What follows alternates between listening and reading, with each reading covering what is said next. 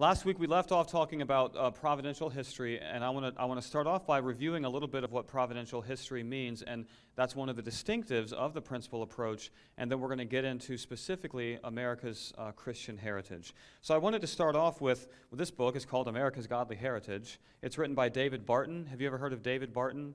And Wall Builders is the organization. Wall Builders, they took that name from Nehemiah, where the, the Jews were rebuilding the wall. So they've taken that to, to as their mantle to rebuild America's foundation, to, to draw people's attention back to our Christian uh, history and our heritage. So, Wall Builders is a great organization. Their website has all kinds of really good resources. Uh, David Barton has written a number of books, they've produced a number of videos. And so uh, he's, he is kind of like, he, he's, he's the history nerd's history nerd.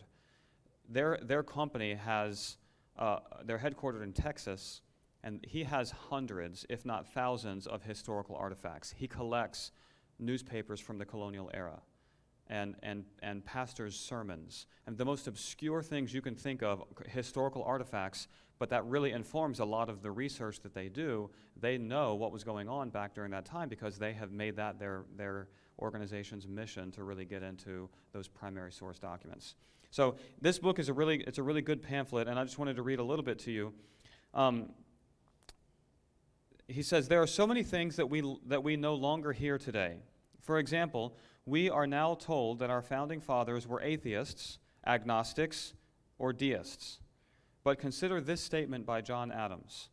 John Adams said, The general principles on which the, f- the fathers achieved independence were the general principles of Christianity. I will avow that I then believed and now believe that those general principles of Christianity are as eternal and immutable as the existence and attributes of God. John, Qu- John Adams' son, John Quincy Adams, uh, in his speech on July 4th, 1837, uh, he, sp- he said to the crowd, Why is it that next to the birthday of the Savior of the world, your most joyous and venerated festival returns on this day, on the 4th of July? Is it not that is it is it not that in the chain of human events the birthday of the nation is indissolubly linked with the birthday of the Savior? That it informs a leading event in the progress of the gospel dispensation? Is it not that the Declaration of Independence first organized the social compact on the foundation of the Redeemer's mission upon earth? That it laid the cornerstone of human government upon the first precepts of Christianity? John Jay, another founding father, said Providence has given to our people the choice of their rulers, and it is the duty as well as the privilege and interest of our Christian nation to select and prefer Christians for their rulers. You'll hear me talk about this tonight, and we'll really dig into it next week when we talk about the Christian form of our government. Every religion and or worldview has a political system that goes with it. Every religion and every worldview has a political system that goes with it. And finally, in his farewell address, George Washington pointed out that, that, the two thou- I'm sorry, that the two foundations for political prosperity in America were religion and morality, and that no one could be called an American patriot who attempted to separate politics from its two foundations. This is from George Washington. He said, Of all the dispositions and habits which lead to political prosperity, religion and morality are indispensable supports. In vain would that man claim the tribute of patriotism who should labor to subvert these great pillars. So, providential history is really important uh, because, in our particular case as Americans, our country has a rich Christian heritage, and it is not, it, it is being actively assaulted and has been for a few decades now. It used to be subtle, and now it's pretty overt. So, tonight we're going to gain an understanding of providential history, and then we're going to move in to talk an, about America's Christian heritage. So let's review. Providential history. We read this last week from Reverend Foljambe. He said, The more thoroughly a nation deals with its history, the more decidedly will it recognize and own and own an overruling providence therein. And the more religious a nation will it become. while the more superficially it deals with its history, seeing only secondary causes and human agencies, the more irreligious it will be. Will it be? So to review, most historians who wrote before 1900 viewed history from a providential view. Most young Christians want to have a goal toward which they can work with God's help. They want to have a purpose and a hope, and this requires being taught to see the providential hand of God in their lives. I, I wrote this down in my notes, it's not up there, but Christianity views history as needing to be studied from the whole to the part, from creation to the present and to the individual event. So we go from the whole to the part. A humanist view of history is studied, history is studied in fragments and in parts without realizing the connections of one part to another.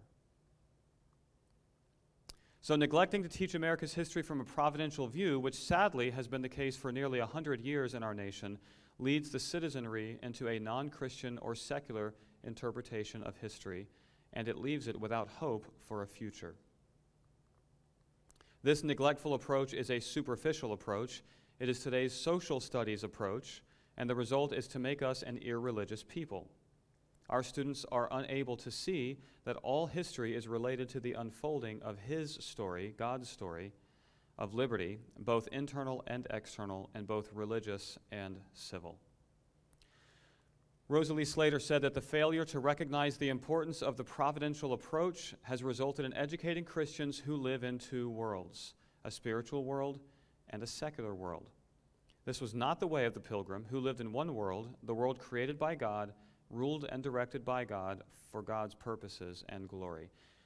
If you remember, my, the first night I explained Dr. Meyer's uh, vision for, for starting Dayspring, and, and part of his story is that he he grew up with this view. He grew up that there was a sacred part of life and then there was a secular, there was the rest of life. The sacred part of life is where we go to church and we do family devotions and we, we do the things that we know are right as Christians.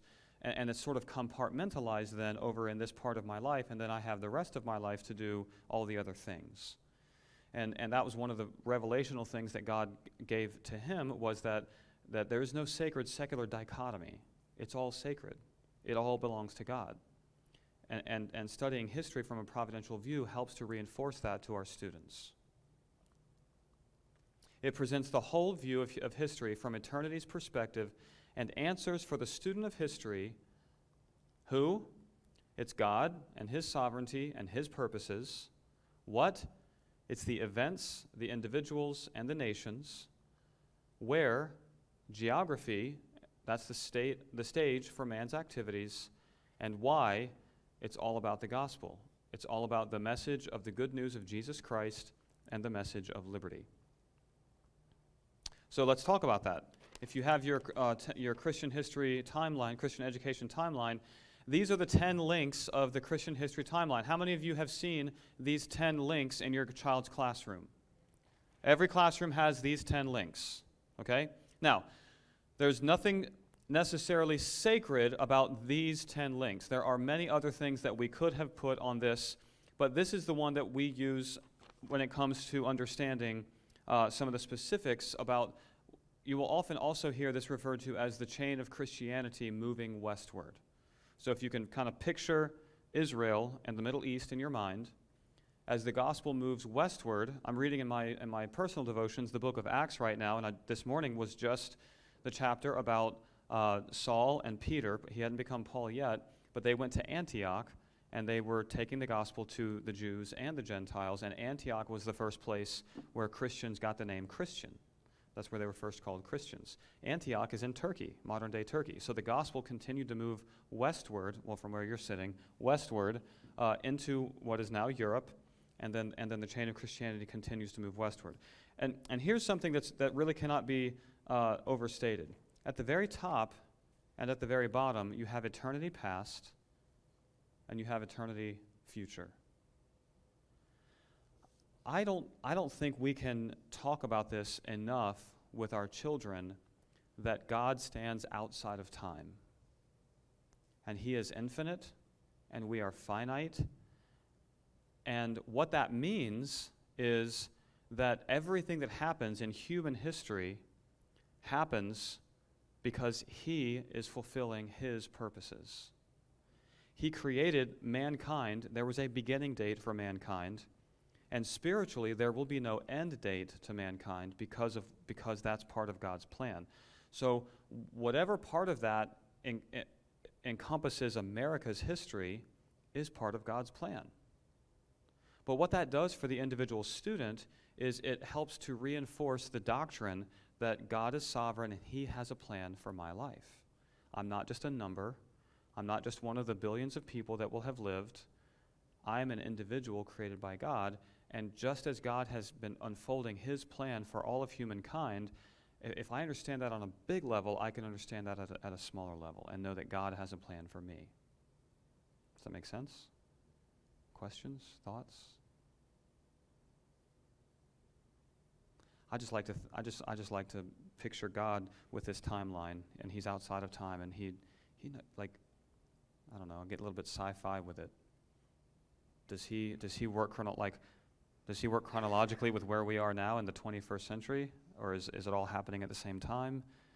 These are, these are the things that my mind wonders because God is infinite and we're not. We, there's lots we don't just, just can't understand. But anyway, all right. So the 10 links here on the timeline. We have creation.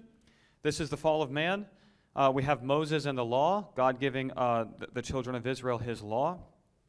We have Jesus, Jesus Christ is the focal point of history. Some of the timelines might actually say Jesus Christ, the focal point of all history. So everything that is before Christ leads up to Jesus coming to the earth. That's God's salvation plan for man.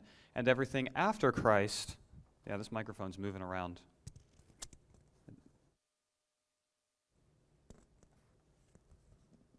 It's my, it's my jacket. Might have to just take it off. I think it keeps pulling the cord. Um, everything after Christ is all about the gospel and bringing salvation to the uttermost parts of the earth. So that's, that's, the, that's the Christian history timeline when it comes to the overall narrative of humanity. As we zoom into America, we see a direct connection between the gospel moving westward and the gospel coming to America and America's founding. There's a direct connection. The Bible is translated into English. Uh, around, uh, shortly after that time period, we have the Age of Exploration that's represented on the timeline by Christopher Columbus. And he brings, the, he brings the gospel to the New World, and then the other explorers do as well. We have the Christian founding of our country. We have the, the American Christian Republic and the founding of our country. We have the expansion and the growth of America, which allows the gospel to be taken all the way uh, to the west coast and then to the uttermost parts of the earth. America used to be the number one missionary sending country in the world. I don't think we are anymore. I want to say South Korea might be. I could be wrong about that. But America, if, if we are, we're not very far in the lead by, by much. But we used to be the number one missionary sending country in the world. Uh, and then we get to um, the, the restoration link is, is the present day.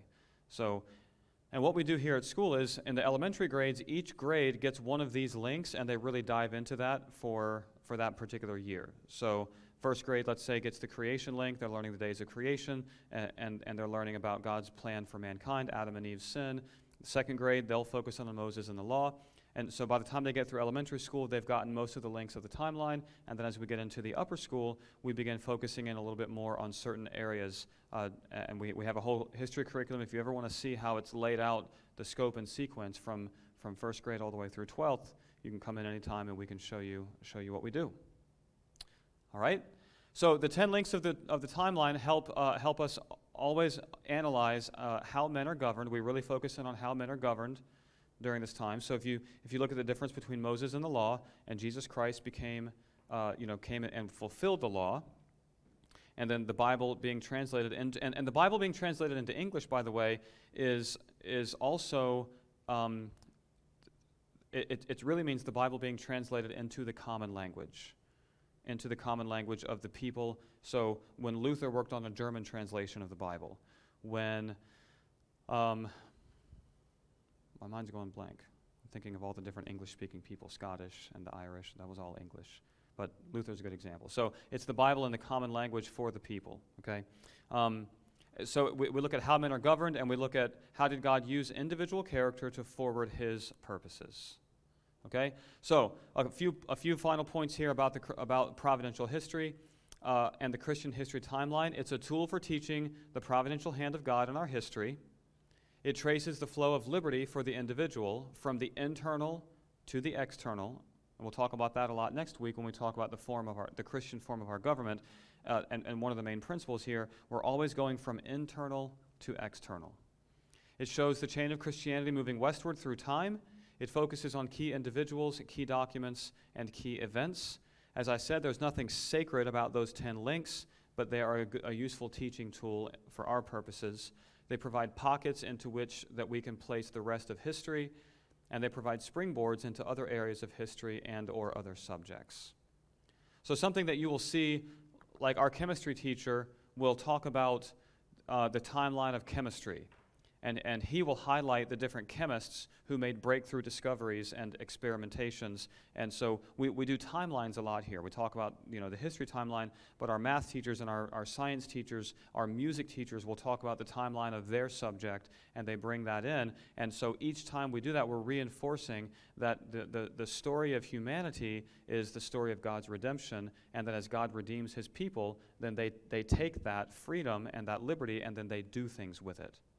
They, they write music, and music develops over the, over the, the centuries. They develop scientific research and, and, and discoveries, and that develops over the centuries. Does that make sense? So that's how we use the timeline uh, very generally, but then we also do it very specifically as we get into the older grades. All right?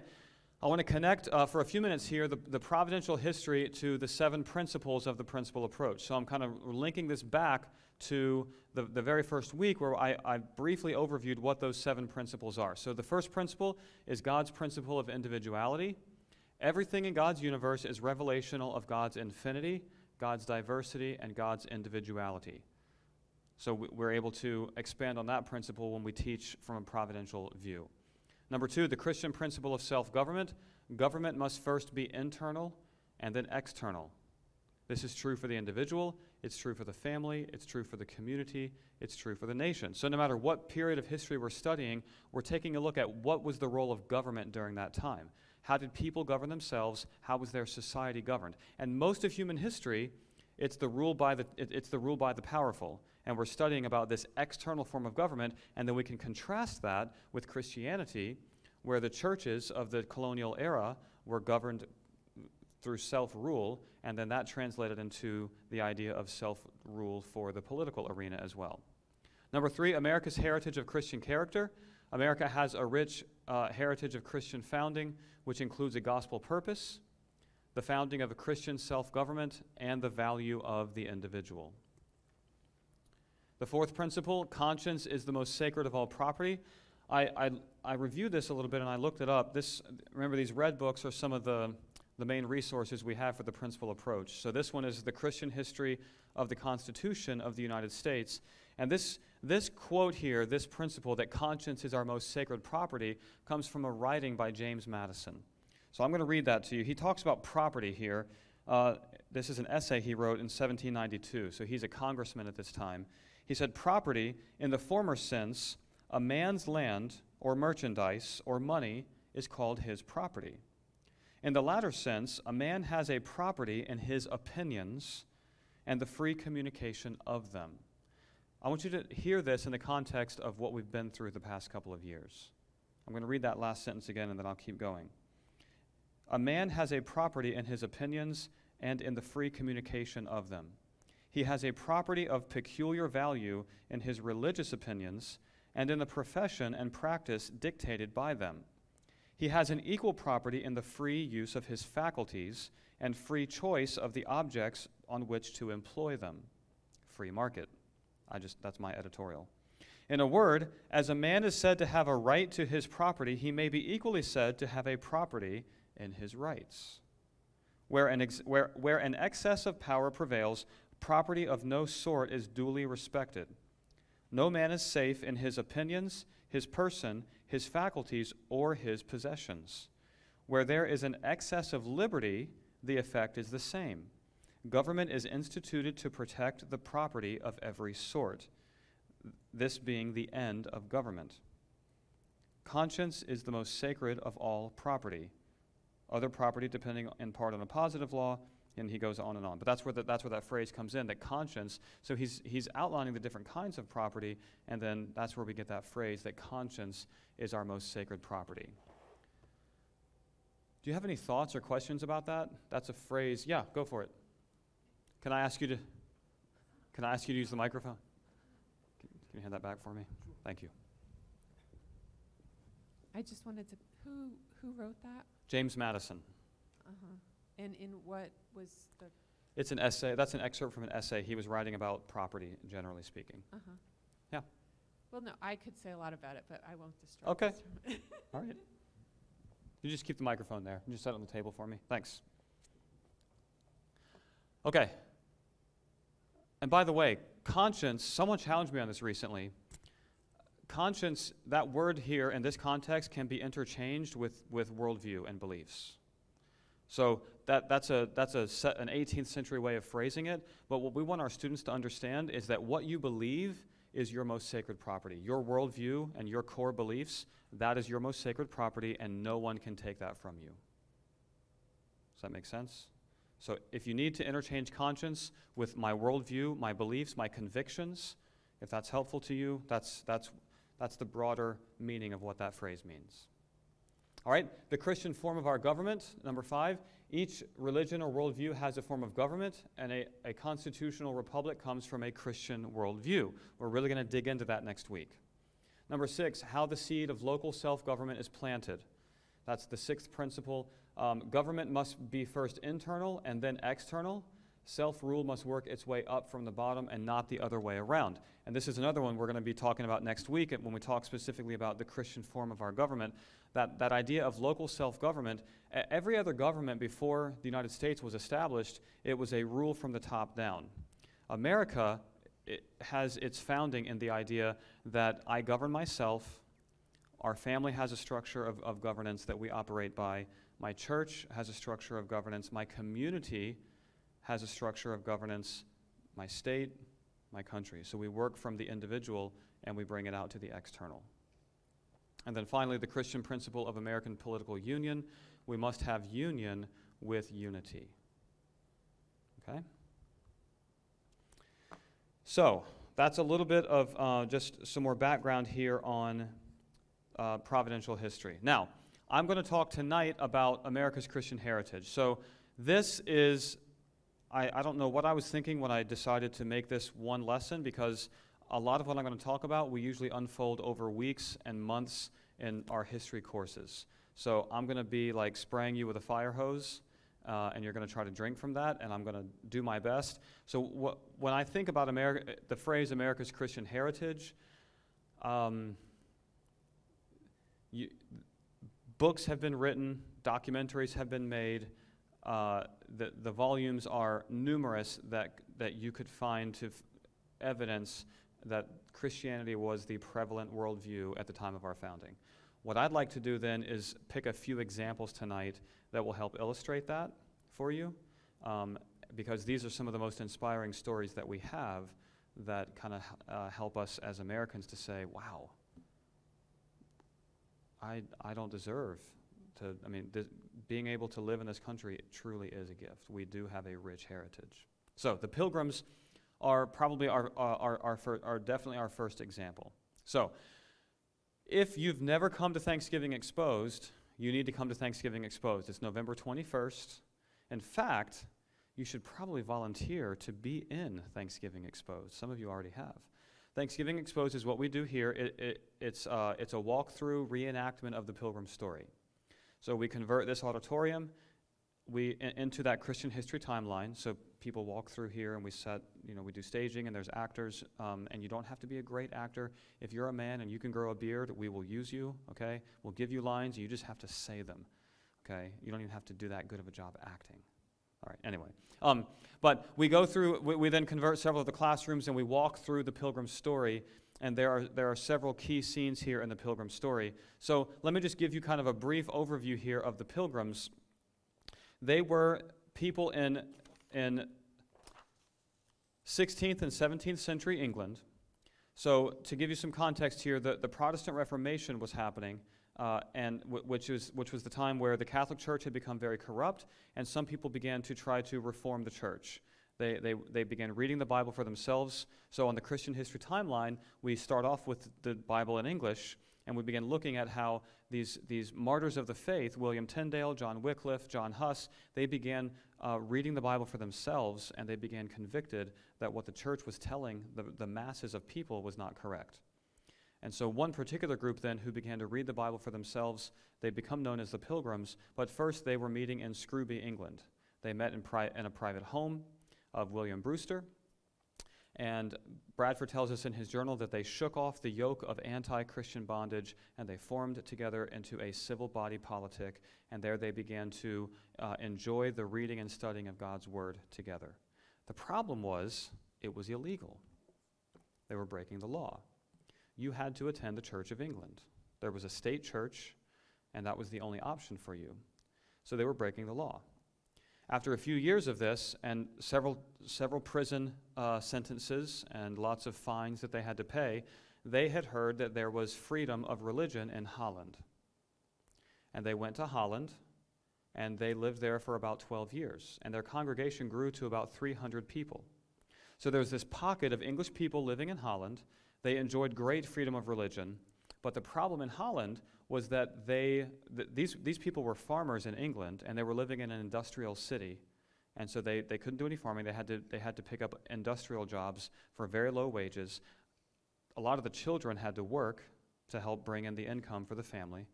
That was very difficult for them. But their most pressing, their most pressing concern, and tell me if this sounds familiar or is in any way analogous to where we are today with our children when you have a society that has freedom of religion, there also can be corruption that creeps in and influences the children.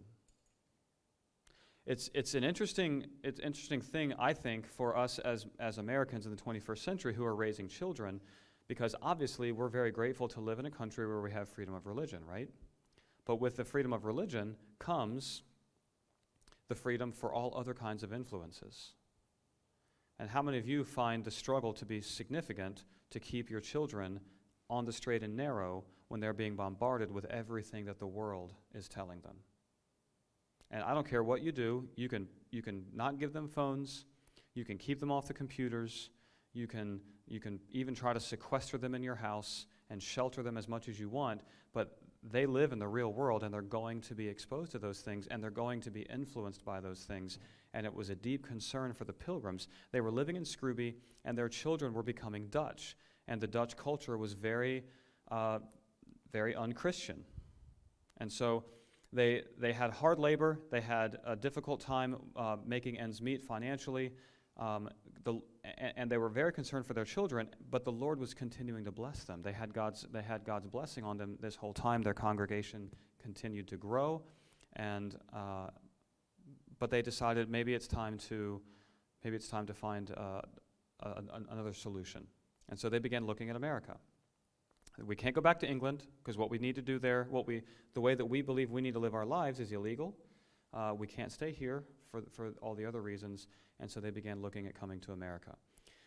And here's the most amazing thing to me.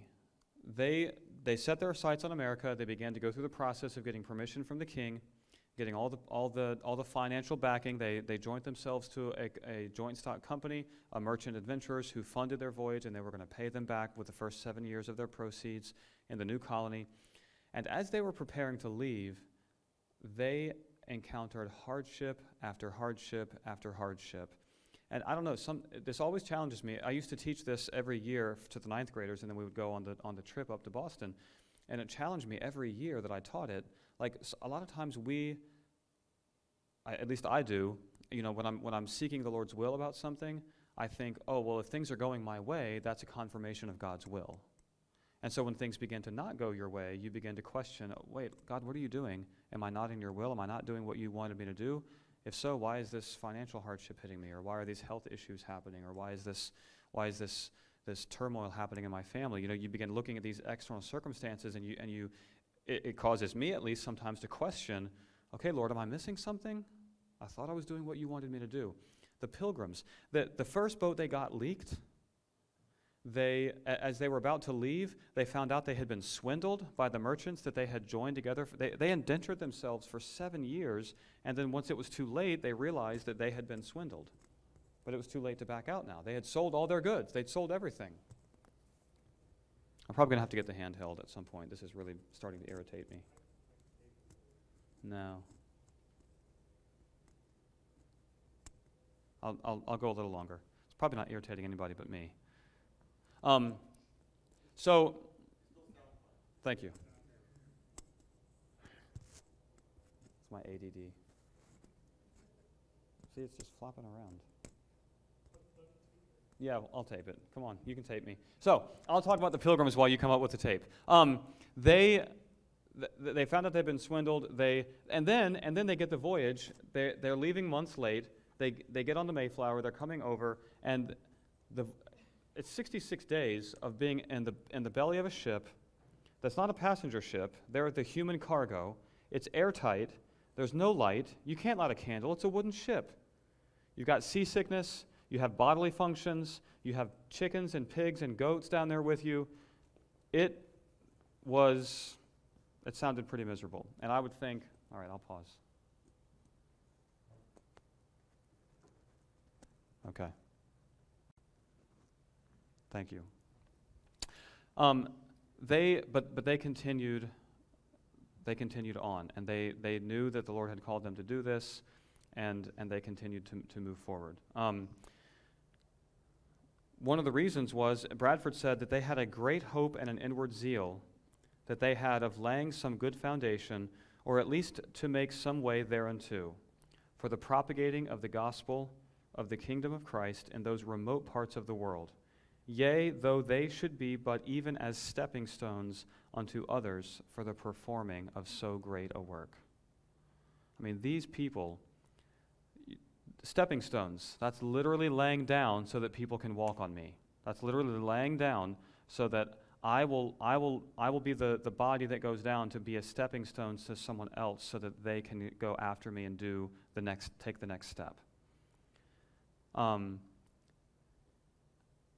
they get to the New World just in time for winter. New England winter. Once again, God, did we do the right thing here? Half of their number die in that first winter.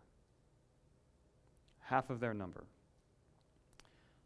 They, and on top of that, the entire winter, while they're, when they're burying their own dead in shallow graves, which they're doing at night because they don't want the Native Americans to know how many of them have died.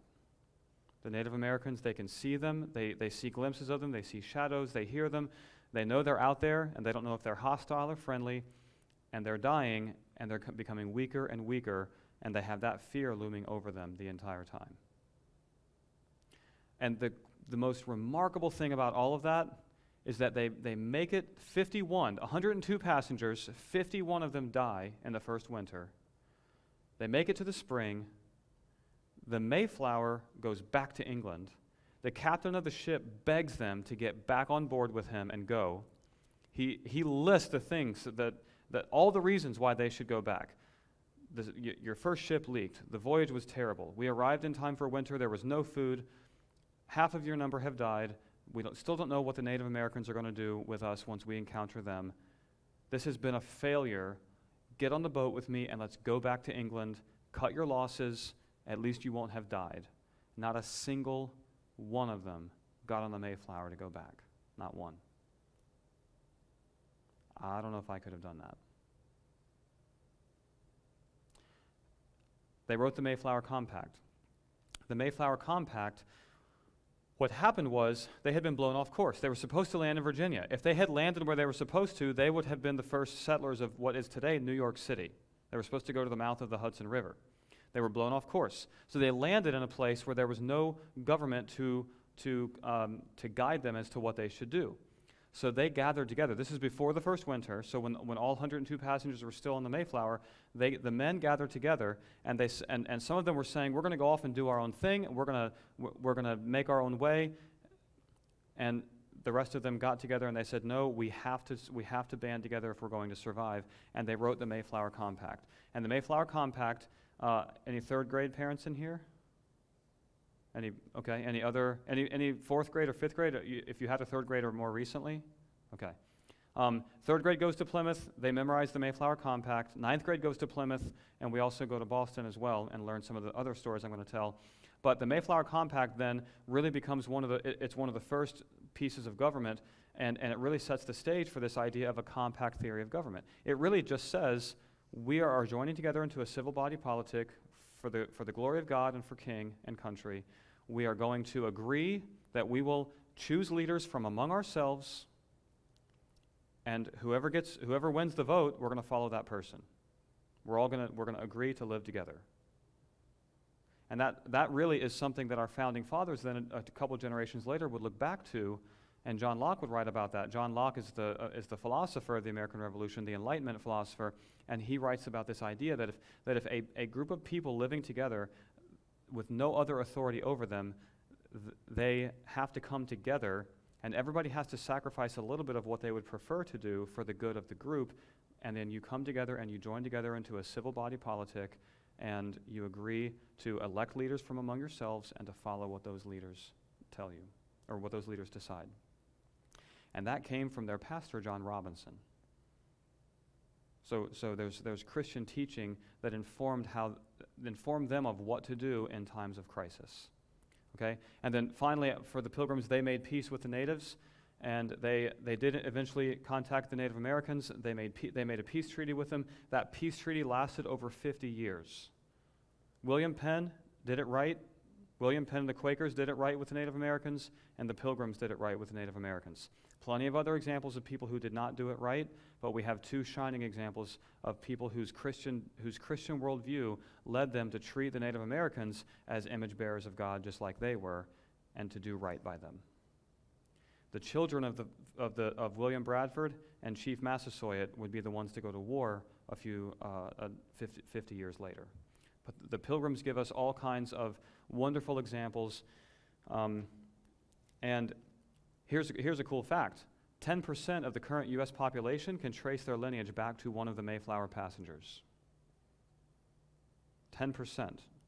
There's a whole Mayflower society. You can research if you are one of the descendants of the Mayflower uh, passengers, one of the 51 who survived, which is even more remarkable. Um, and if you find out that you are, you can, you can pay a hefty uh, due to the Mayflower Society and join the club. It's kind of a cool thing. I'm not. I've, I've, I'm not a Mayflower descendant. But does anybody in here know that they are? Awesome. Did you pay the dues? Not yet. Yeah. No. John Alden. Okay. Awesome. So, th- so the pilgrims are part of our heritage. They're, they're, we, we call it America's sacred story. That's why, we, that's why we tell the story. There's so much more that we go. We, we take weeks to unfold this story with our students, and when we, we go up to Plymouth with the parents, we, we, we talk a lot about it. There are so many other things I could say, but I'm going to read a, a few more words from William Bradford. He said, Thus, out of small beginnings, greater things have been produced by his hand that made all things of nothing and gives being to all things that are. And as one small candle may light a thousand, so the light here kindled hath shone unto many. Yea, even unto our whole nation. May the glorious name of Jehovah have all the praise. He also said, May not, may not and ought not the children of these fathers rightly say, Our fathers were Englishmen which came over this great ocean and were ready to perish in this wilderness, but they cried unto the Lord, and he heard their voice and looked on their adversity. Let them therefore praise the Lord because he is good and his mercies endure forever. Yea, let them let them which have been redeemed by the Lord show how he hath delivered them from the hand of the oppressor when they wandered in the in the desert wilderness out of the way and found no city to dwell in, both hungry and thirsty, their soul was overwhelmed in them. Let them confess before the Lord his loving kindness and his wonderful works before the sons of men. And there's all kinds of information about how the Pilgrims and the things that they did. They influenced the Puritans who came then and founded Massachusetts Bay Colony, and they had all kinds of influence that lasted into the founding generation. So the Pilgrims are one of our, one of our great examples of our country's Christian heritage. So, the providential planting of America, the hour of American colonization was the, fir- was the fittest one in modern times for the new world to receive the best which the old world had to give. We were connected in time and space with the Reformation. It served as a bulwark and reserve for the Protestant church, and it was held there until there was a people of the book, the Bible obviously, sufficiently mature to build a civil government on biblical principles. That was high strategy in the warfare for the advancement of the kingdom of God on the, in the earth. That was C.B. Uh, Galloway. He's writing about Christianity in America and talking about how our continent and the timing of the Reformation, the Bible in English, the, there, there being a, a ready made continent for the, for the next phase of human liberty, it, it was all part of God's plan. Alexis de Tocqueville. He's a Frenchman who wrote about America. So, 1820s, America is fast growing into a, an economic power. We've come through the revolution, we've got our constitution, we've won the War of 1812, so we've beaten Britain twice now, and we are really becoming an, an economic power on the, on the same level as the European countries. We were the wonder of Europe. They didn't understand how this little country was becoming so influential and so powerful so quickly. Alexis de Tocqueville was a French jurist who came over to study this whole phenomenon. He spent months in America traveling all over the place, meeting people, and then he wrote a, a, a, like a 400, 500 page work called Democracy in America. He has some amazing quotes in that book that I put a few of them here in, in your notes. And, and I'm, I'm talking specifically about what he observed when it came to America's uh, religious nature. He said that uh, the greatest parts of English America were peopled by men who were escaping religious persecution and settled into a Christianity that described best as democratic and republican. He also said from the beginning, politics and religion were in accord, and they have not ceased to be so since. Next to each religion is a political opinion that is joined to it by an affinity. Separation of church and state is a very recent idea, and it's wildly misconstrued and we'll get into that next week. I keep saying next week. Next week's a big week. Uh, I want to just go over a few of the colonial founding charters. Again, more evidence that we have Christian Christianity as a big, as the main influencer of our heritage. Virginia and Jamestown. This is from the charter that the king gave the men who were coming to found Jamestown. We greatly commending and graciously accepting of their desires for the furtherance of so noble a work, which may, by the providence of Almighty God, hereafter tend to the glory of His divine majesty in propagating of Christian religion to such people as yet live in darkness and miserable ignorance of the true knowledge and worship of God. This is from the charter for uh, the, the, the colony of Virginia. Dedication Day was April 29, 1607. The first thing these men did when they landed on the shores of Virginia was they dedicated the continent to God and they had a solemn prayer service. If you go to that lighthouse there in that picture, that's of course a modern day picture, that lighthouse is there at Cape Henry in Virginia Beach, tucked away behind all the, all the, you know, the, the big stuff is this cross, and it's a monument to the planting of the cross by Pastor Robert Hunt and the dedication of the North American continent to the glory of God and the propagation of the gospel. It's a cool place. If you're ever in Virginia Beach, go look it up. More about colonial foundings. Nearly all of the original colonies had distinctly Christian purposes in their charters, and that was freedom of religion and evangelizing of the natives.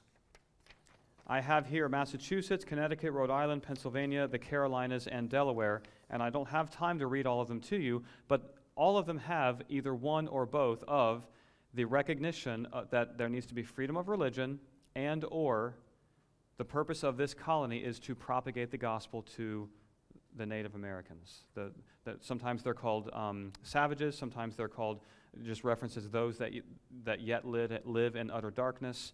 But there was a missionary purpose in the founding charters of the majority of the 13 original colonies. Let's talk about colonial churches. Again, from Alexis de Tocqueville. He said Christian morality is found in all sects they all differ in their worship, but all agree on the duties of men toward one another. So, more from, from the churches here. Uh, in New England, we had the Anglican Church. This was Puritan Church. This was established to be. Um, th- so, we had the Pilgrims that came in, to Plymouth in 1620. About 10 years later, there was a civil war in England, and the Puritans came. The Puritans were those that were trying to stay in the Church of England and purify it from uh, what they felt were, were Catholic rituals. So when King Henry VIII broke away from the Catholic Church, he made the Church of England, he made himself head of the Church of England, but there still was a lot of the, the same Catholic, uh, Catholic um, symbolisms, the, the, the way that they did communion, the way the preachers read from the Book of Common Prayer rather than preaching expositionally from the Scripture, the, you know, the, wearing of the robes, the, the liturgy, all the formality. There was still a lot of uh, Catholic, uh, a, a Catholic feel to the Anglican Church. The Puritans were trying to purify that and, and get, get the church to be what Scripture calls the church to be. Uh, it wasn't going well for them in England, so they came to America and they tried to set up a, a church in America that would be sort of a model uh, for, for the rest of the world, what they felt should be a model state church. Okay? And that's John Winthrop and his famous City on a Hill, uh, where he, he gave the famous sermon about America should be uh, a shining city upon the hill.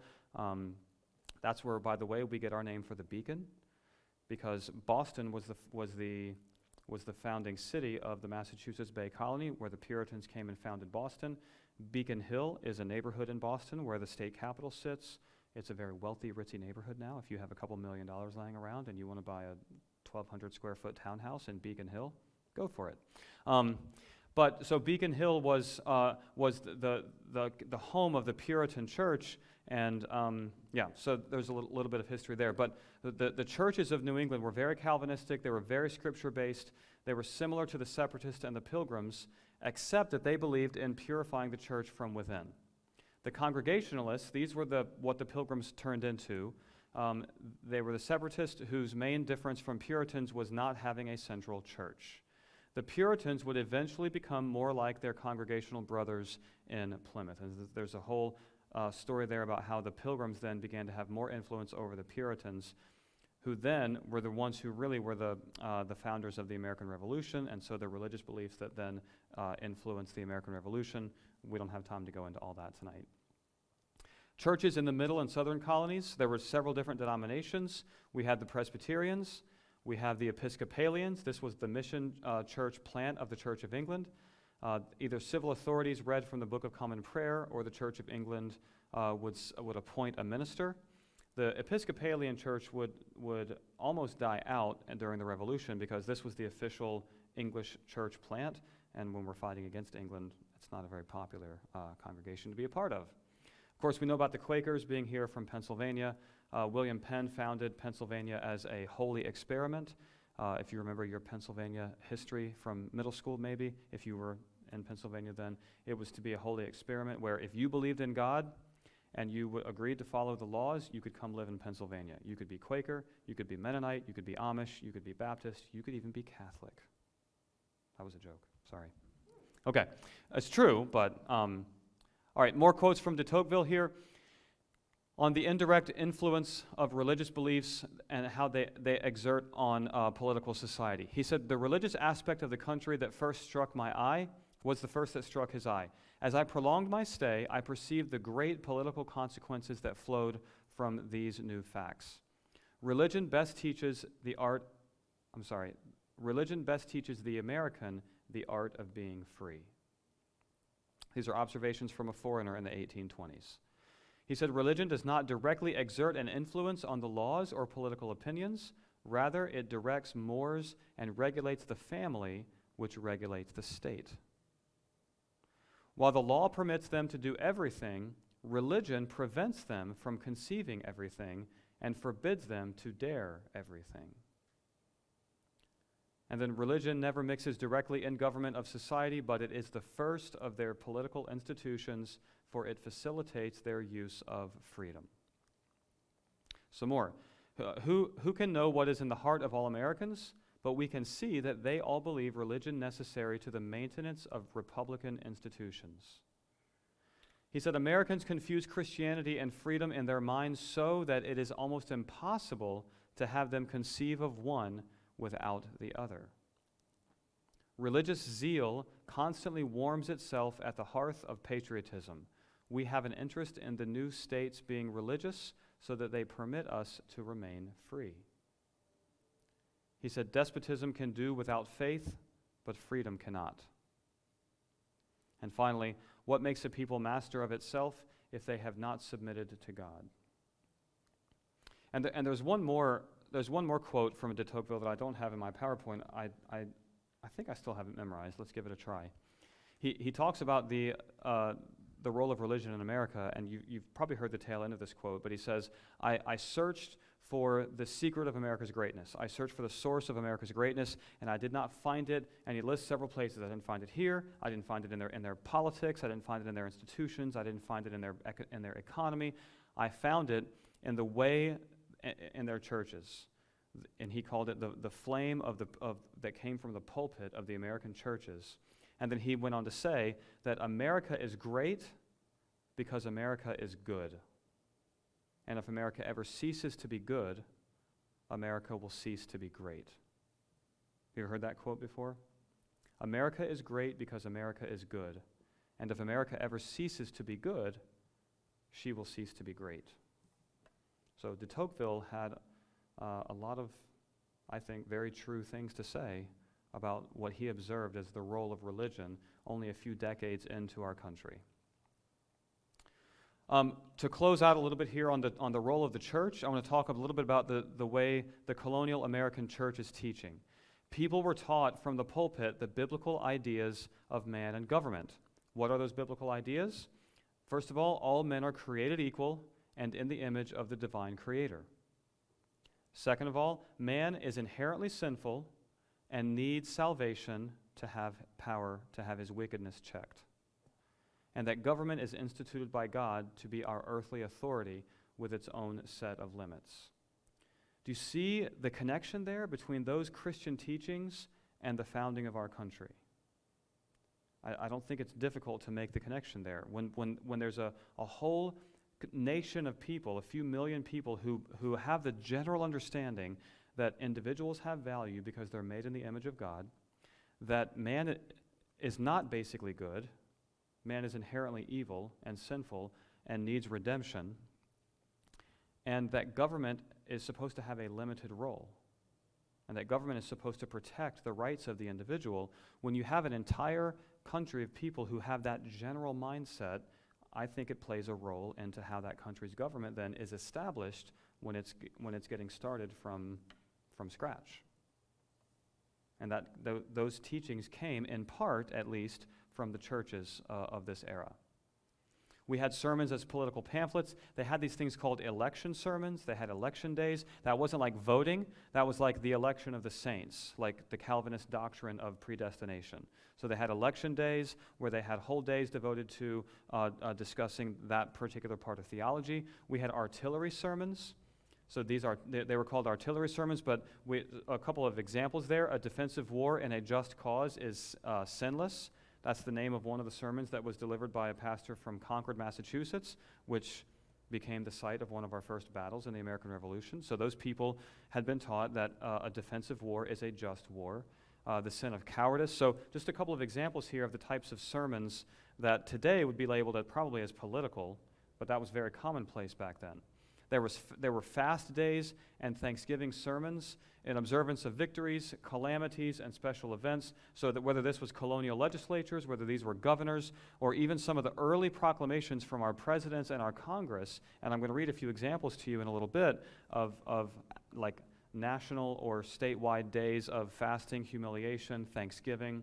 So these were all very commonplace in the, uh, in the colonial churches. All right, before we get into a few examples, let's just let's, let's talk a little bit about the Great Awakening. Um, ben Franklin was an enthusiastic supporter uh, by printing many of George Whitefield's sermons. The Great Awakening, combined with the Enlightenment, played a role in the development of the, the democratic mindset of colonial America. So, the Great Awakening is just what it sounds like. It was a religious revival that's, that swept the nation. Uh, uh, hundreds of thousands of people professed faith in Christ. This was about the 1730s and 1740s. So it's really the coming of age time for people like George Washington and Benjamin Franklin, people of that generation who then, by the time we get into the Revolution, are more uh, in their middle ages. Okay? Uh, here are some of the main teachings that come from the Great Awakening, and you can kind of see how they have their influence then on America's founding.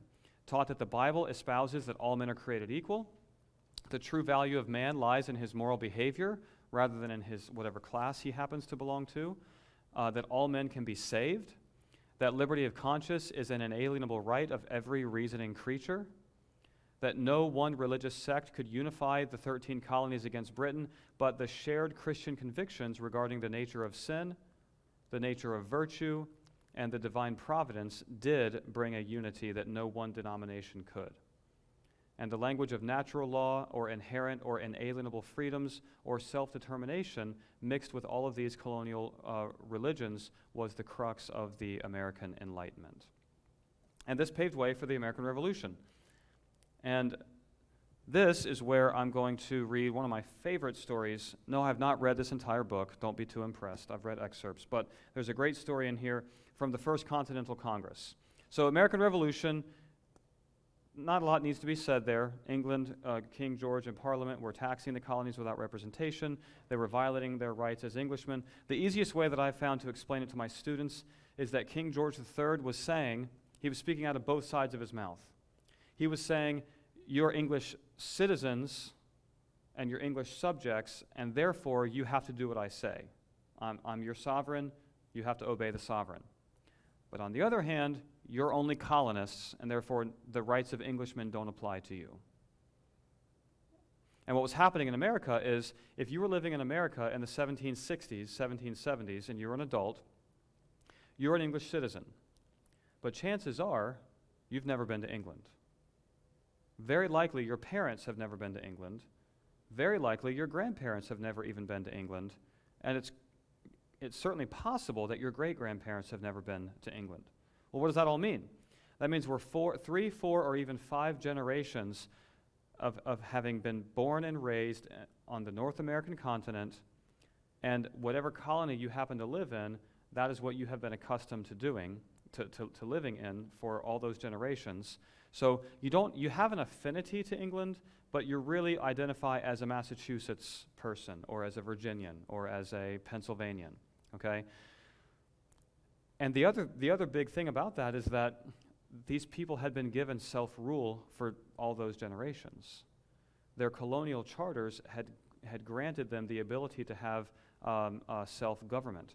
In Massachusetts, in particular, they had this thing called the town hall meeting we have our town hall meeting every year at Dayspring. We get all of our names from colonial stuff. We're just old fashioned like that. The new building is going to look like a colonial building. Okay?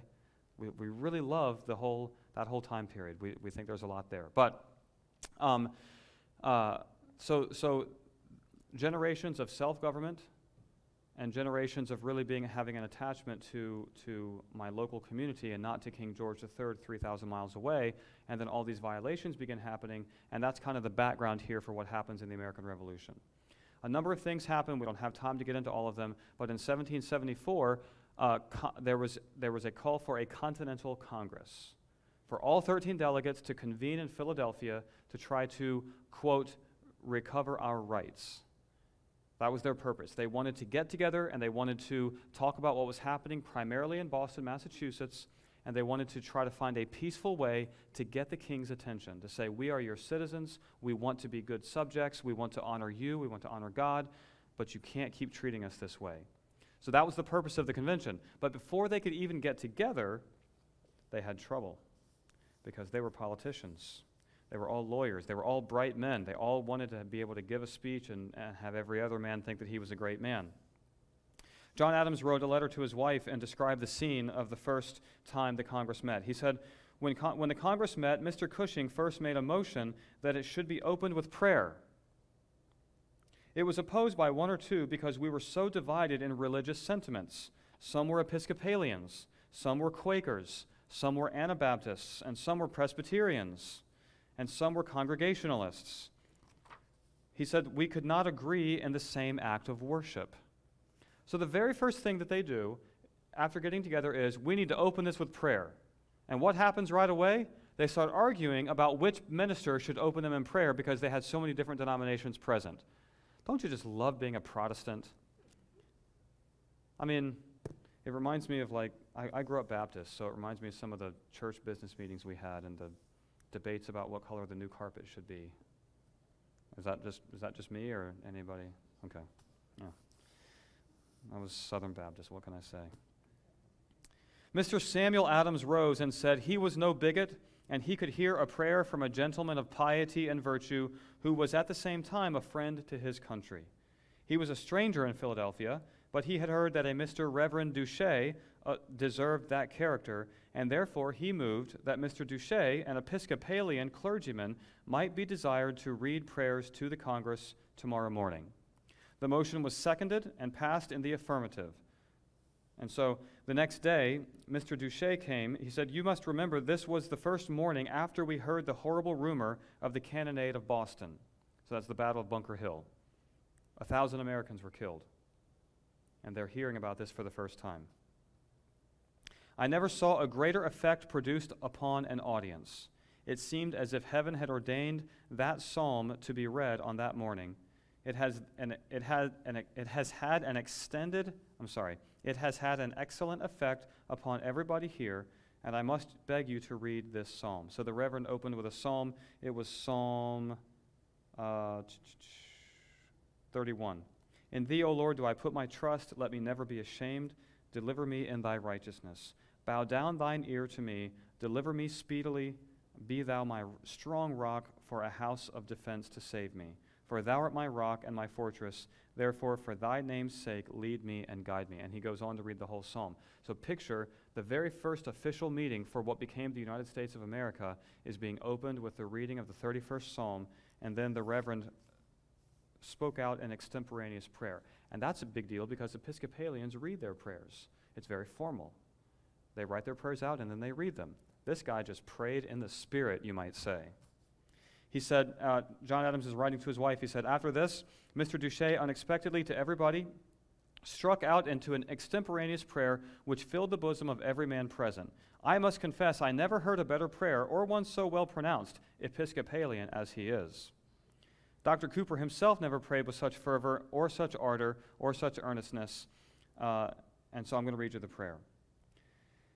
He says, O Lord, our heavenly Father, high and mighty King of kings and Lord of lords, who dost from thy throne behold all dwellers on earth, and reignest with power supreme and uncontrolled over all the kingdoms, empires, and governments, look down in mercy, we beseech thee, on these American states, who have fled to thee from the rod of the oppressor, and thrown themselves on thy gracious protection, desiring to be henceforth dependent only on thee. To thee, they have appealed for the righteousness of their cause. To thee do they now look up for that countenance and support which thou alone canst give. Take them, therefore, Heavenly Father, under thy nurturing care. Give them wisdom and counsel and valor in the field. Defeat the malicious designs of our cruel adversaries. Convince them of the unrighteousness of their cause and if they still persist in their sanguinary purposes, oh, let the voice of thine own unerring justice, sounding in the hearts, constrain them to drop the weapons of war from their unnerved hands in the day of battle. Be thou present, O God of wisdom, and direct the counsels of this honorable assembly. Enable them to settle things on the best and surest foundation, that the scene of blood may be speedily closed that order, harmony, and peace may be effectually restored, and truth and justice, religion and piety prevail and flourish among thy people. Preserve the health of their bodies and the vigor of their minds. Shower down on them and the millions they here represent such temporal blessings as thou seest expedient for them in this world, and crown them with everlasting glory in the world to come. All this we ask in the name and through the merits of Jesus Christ, thy Son, our Savior. Amen. So, the first official act of business from our Congress was that prayer. That's pretty cool. At least I think so. Um, providential stories. I need to move fast. George Washington is made general of the army, and we're fighting a war against Great Britain. There's a couple of times, I'm going to pick a few examples here, where I don't think you can draw any conclusion other than God intervened. Uh, one of the first stories of this, so I'll fast forward to 1776. Uh, the British are in Boston, and Washington has been sent to try to liberate Boston and get the British out of there. So this is before the Declaration of Independence is written, but it's one of the things that will cause, cause Congress to go ahead and, and do that. Uh, Washington has Boston surrounded, and the British are in the town of Boston, and they feel like they need to uh, cross the harbor and attack Washington's troops and send them and send them away. Um, and so they try to do that. And I'll read you this account here. During the, during the early spring of 1776, with the British in control of Boston, Washington ordered cannons brought uh, through the snow from Fort Ticonderoga to fortify Dorchester Heights overlooking Boston Harbor. Seeing the danger, British General Howe ordered an, an amphibious assault on the American position. However, the night before the assault was to begin, quote, a hurricane or terrible storm, a southeaster of gale proportions, end quote, hit the Boston area and disrupted Howe's plans, so he called off his attack on the American position due to the badness of the weather.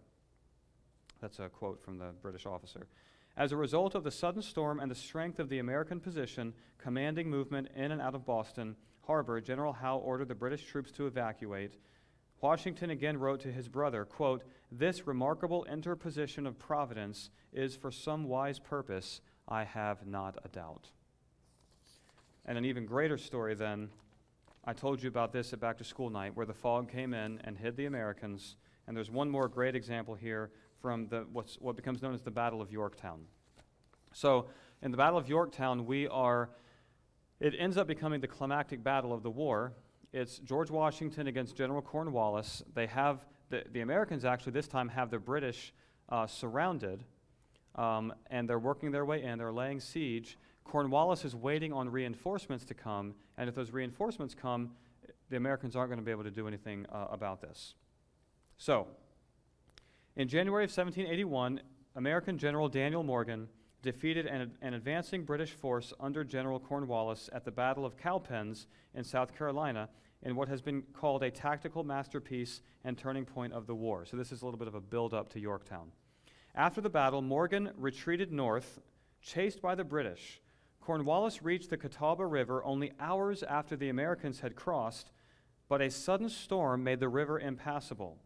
The British nearly overtook the Americans at the next river, but again, rains flooded the river, sh- slowing the British, and another flash flood blocked the British at the third river, allowing the Americans to cross into friendly territory. British General Henry Clinton described these events as follows.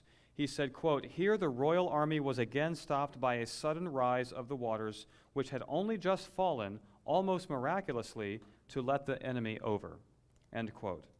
George Washington wrote in March of 1781 We have abundant reasons to thank Providence for its many favorable interpositions on our behalf. It has at times been my only dependence, for all other resources seemed to have failed us. So, leading up to Yorktown, the Americans had been running from the British. Three times they crossed a river. The water was at a low level for the Americans to cross. As soon as the Americans crossed, the water's level rose and the British could not cross it. And then that's the prelude to Yorktown. The culminating battles of the Revolutionary War were so decisively influenced by the weather. In October of 1781, an inconclusive engagement between the French and the British fleets in the Atlantic Ocean, prolonged by shifting winds, allowed another squadron of French ships with troops and supplies to slip into the Chesapeake Bay, preventing the British supply ships from reaching Cornwallis, who was surrounded by 17,000 French and American troops in Yorktown. Facing overwhelming odds, Cornwallis attempted a nighttime breakout by starting to ferry his regular troops across the York River. I put a little picture up here. I don't know if you can really tell what that is, but it's the York River there. I've been there before. If you ever go to Virginia, I encourage you to go to what's called the Colonial Triangle. It's Jamestown, Yorktown, and Williamsburg. Really, really, all three of those places are really excellent. But if you go to Yorktown, you can go to the, to the battlefield there uh, where this took place, and you can see this river is about as wide as what we deal with here at the Susquehanna. It's anywhere from three quarters of a mile to a mile uh, uh, wide at, at most of the points in this area. So I want you to just have that in your mind. This isn't the Conestoga River we're talking about. This is a big body of water. Okay? Um, and Cornwallis is going to try to cross it, a nighttime breakout, by starting to ferry his regular troops across the York River. The first group made it safely across the river. However, a sudden and severe rain squall blew the second contingent of soldiers downriver. I stapled this poorly. leaving Cornwallis with much, with a much reduced force. This sudden, quote, adverse turn of the weather completely disrupted the attempted breakout, end quote. And as a British colonel commented, thus expired the last hope of the British Army. Cornwallis surrendered the next day while a British military band played the song, The World Turned Upside Down. The American victory at Yorktown has been called one of the most influential battles in history as it ended an eight year struggle for the independence and launched America on a path to becoming a world power. And it was aided by a sudden and dramatic change in the weather. So there's at least four significant occasions where Americans are fighting against the British during the war, and the weather turns very suddenly and it's always in favor of the Americans to help them either defeat or escape from the British. That's our heritage. That's part of our heritage. And love telling those stories to our students because they get to understand, you know, we we can't say this for certain because it's not in scripture, but we can look at the events and make observations and say it sure seems like God was doing something in America at its founding. And even, even the enemies, the British officers, would write back home many times, frustrated and talking about how God kept changing the weather for the Americans' favor. So, those are some providential stories. I have a couple more things. There's a really, wow. Okay. I don't need them, but I'm afraid I'll slip and fall on them if I don't pick them up. So, One story here from the Constitutional Convention. If you uh, fast forward the after the war is over, we've defeated the British, we've been given our independence. The first form of government that we had was called the Articles of Confederation. It was a nightmare, not working well at all. So in 1787, a constitutional convention was called where delegates from all the different states were, were, were going to come together and try to revise the Articles of Confederation. They ended up tossing the whole thing out and giving us the Constitution that we have today. In the first five weeks of the deliberations, it was not going well. You had all these different men from different states who had their own interest, and they were trying to represent their interest and bring the best deal home for their state. There was debates over the large states versus the small states. There was debates over where the nation's capital should be. There, was there were debates about what should the executive office look like. Should there be one person who's a president, or should it be a body of seven people? That's the office of the presidency. They, and of course, the slavery issue was a major contention point as well that nobody could agree on. North and South viewed that very differently. As the story goes, Benjamin Franklin, who was um, the elder statesman of the Constitutional Convention. This is his last great act as an American founder. He's 70 years old at the time. He has to be carried into the convention every day on a sedan chair because he has gout so badly in his feet he can no longer walk. Um, on this particular day, he rises to his feet. This is June 28th. And, it, and I'm going to read from this book. is called The Light and the Glory. Um, at this crucial moment, when there was not a person present who had any real hope of finding an effective solution, Benjamin Franklin rose to speak. He said, and I'm going to just read his speech, it's not that long. He said, In the beginning of the contest with Britain, when we were, when we were sensible of danger, we had daily prayers in this room for divine protection.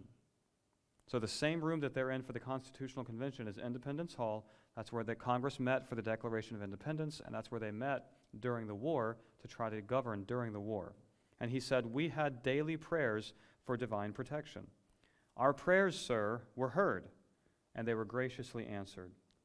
All of us who were engaged in the struggle must have observed frequent instances of a superintending providence in our favor. And have we now forgotten this powerful friend?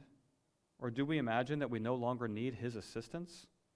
I have lived, sir, a long time, and the longer I live, the more convincing proofs I see of this truth that God governs in the affairs of man. And if a sparrow cannot fall to the ground without his notice, is it probable that an empire can rise without his aid? We have been assured, sir, in the sacred writings that except the Lord build the house, they labor in vain who build it. I firmly believe this. I also believe that without his concurring aid, we shall succeed in this political building no better than the builders of Babel. We shall be divided in our, by our little partial local interests. Our projects will be conf- confounded, and we ourselves shall become a reproach and a byword down to the future ages. And what is worse, mankind may hereafter, from this unfortunate instance, despair of establishing government by human wisdom and leave it to chance, war, or conquest. I therefore beg leave to move that henceforth prayers imploring the assistance of heaven and its blessing on our deliberation be held in this assembly every morning before we proceed to business. And that motion was seconded and it was adopted. And every morning from that point forward, they opened with prayer, and we got the Constitution that we have. Another cool story. All right, finally for tonight, I just wanted to, I, I thought there's, there's, as I said, volumes of, of stories of America's Christian heritage, whether we're talking about our colonial churches, whether we're talking about the pilgrims, whether we're talking about providential occurrences during the American War for Independence, uh, I thought it would be good to kind of talk about some of the Christian symbolism that we saw at the beginning of our country that we still see, uh, uh, and some of these things we still see today. So, first of all, the president and the federal officers, they swear in on the Bible. This was first started by George Washington. He placed his right hand on the Bible, he raised his left hand, and then he added what, what phrase does, does anybody remember what phrase he added to the end of the presidential oath? It's not in the Constitution. I, George, what was it? So help me God. Yeah. So Washington added that in as an ad lib, and every president since then has said, So help me God, as they have sworn in. I actually was talking about this today with my honors U.S. history students, and one of them said, uh, one of them asked me, "Have um, what about the presidents who aren't Christians or who haven't been Christians?" And I need to look this up. I didn't have time this afternoon, but I believe that every president we've ever had has at least claimed to be a Christian.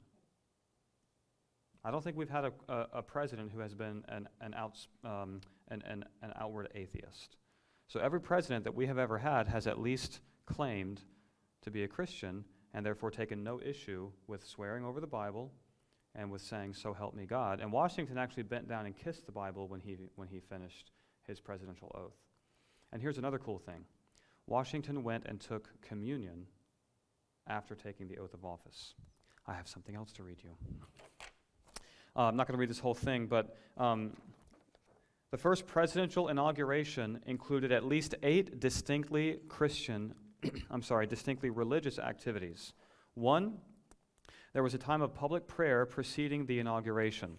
Congress actually issued a law or a, a decree that said it would be pecul- peculiarly improper to omit in the first in this first official act of my fervent supplications to that Almighty Being, uh, wait, that's the wrong thing. Sorry, I have the wrong thing. Congress declared that people should go to prayer at 9 o'clock that morning and then proceed to Federal Hall where Washington would take the oath of office.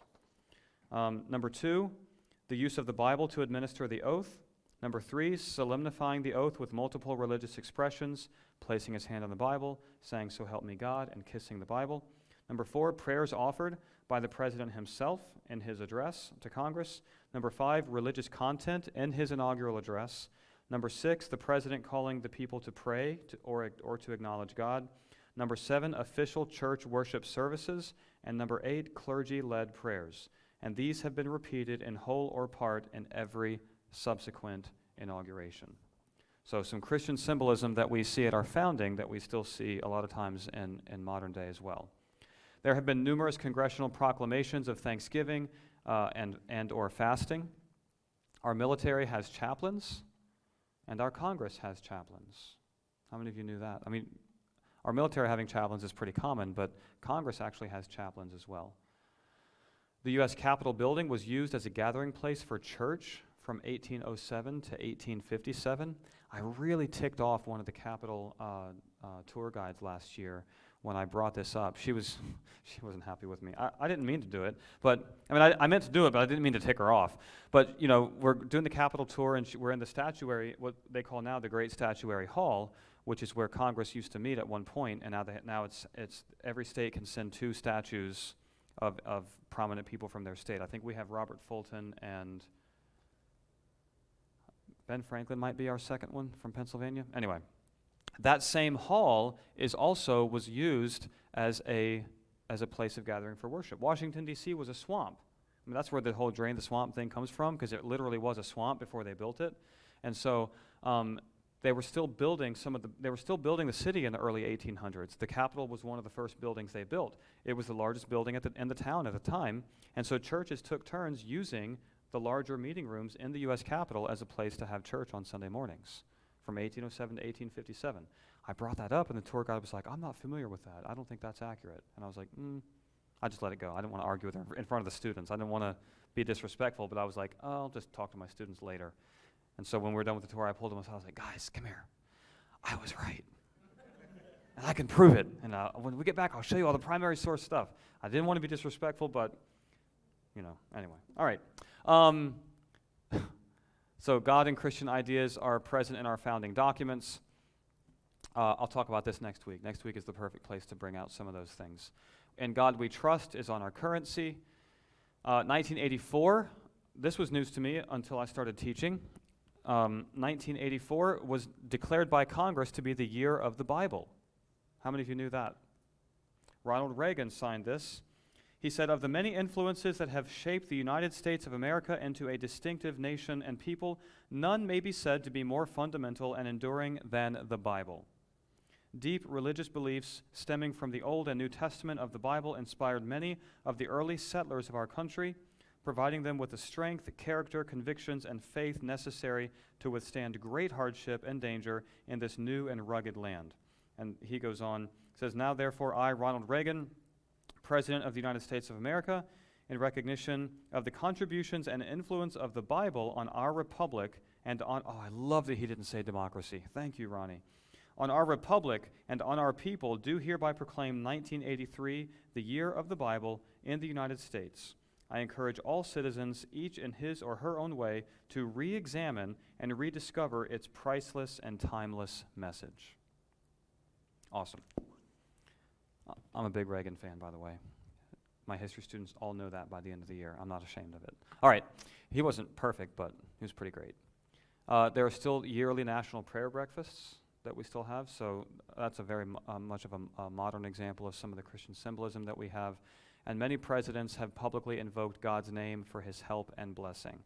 Abraham Lincoln was very uh, public about his, his asking God's help during the Civil War. FDR prayed over the radio on D Day. How many of you were taught that in your history class? Did they play the prayer for you? Probably not. He prayed a long prayer the morning of D Day over, the, over a nationally um, uh, syndicated radio so that everybody in, in America could gather around their radios in their homes and, and listen to the president pray and ask God's blessing over what our troops were doing uh, on D Day. Of course, he waited till the invasion started, which is smart, you know, intelligence, military intelligence, and all that good stuff. So, so I, like I said, I've sprayed you down with a fire hose tonight, but I wanted you to see it, it's going back to the pilgrims, going back to the, the, the original founding purposes of, uh, of almost all of our 13 colonies, the churches of the colonial era, the, the, the actual um, acts of God that took place during the War for Independence, the, the belief of our founding fathers, and their uh, unashamed calls for prayer to ask God to bless the work that we were doing. You know, uh, it, it, it really, many people do try to say that our country does not have a Christian founding, and you really have to work very hard to bury all this historical evidence to try to make that case. It's not even hard to find. So, that's our country's Christian heritage.